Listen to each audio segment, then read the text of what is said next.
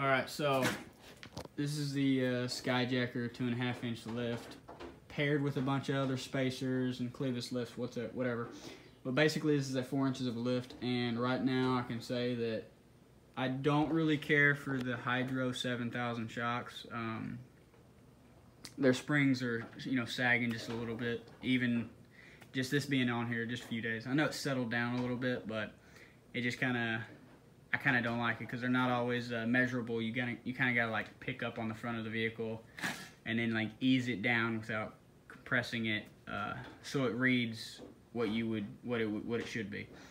So in the rear, uh, I believe it is 2250 from center of the center of the hub to the top of the flare.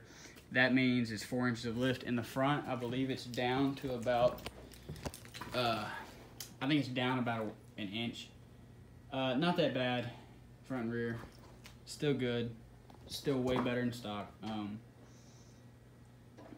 will that mean anything for future? Probably. I'll probably upgrade to the gas shocks or, uh, you know, just add more clevis spacers until it, until it changes out to the right length I want it.